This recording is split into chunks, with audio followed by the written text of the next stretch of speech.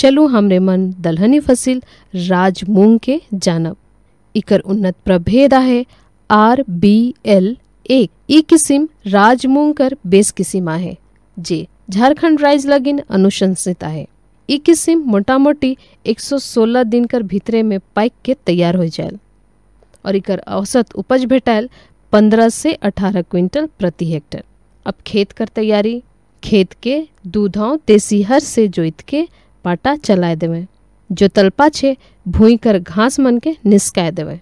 बुने के बेरा, इके दर में लगाए बेस रहे इकर दर से दर कर दूरी 30 सेंटीमीटर रखल जाए है। बिहिन के माटी में चार सौ छिहत्तर सेंटीमीटर कर गहराई में लगाए चाहिए लगाल पाछे दर के माटी से बेस नियर ढाइप देख चाहिए बिहिन दर। बिहिन दर 20 किलोग्राम प्रति हेक्टर होइक चाहिए इकर में उर्वरक 20 अनुपात 40 अनुपात 20 अनुपात 20 kilogram N P K S के प्रति हेक्टर में दे देक चाहिए।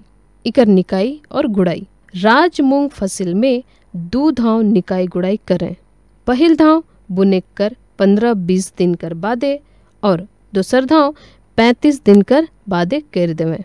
पौधा कर संरक्षण। इकर पौधा में जे पिलवा लागत है, जे बीमारी होत है, इकर संरक्षण उरीदे नियर कर देवें। कटनी, दौरी और दाना कर भंडारण। जखन इकर फसिल पाकेल, तखन पतई पियर होइक लागेल।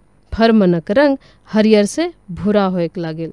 ई बेरा फसिल के जड़ से काट के तनी मनी मुठा कर के बाँध देवें। एक दो दिन रौद में सुखाल पाछे, समाट से ढेढ़ाए के दाना मन के छिनगाए देख चाहिए तलहे भंडारण लगिन दवाई करल बोरा मन में दाना के रख देवें।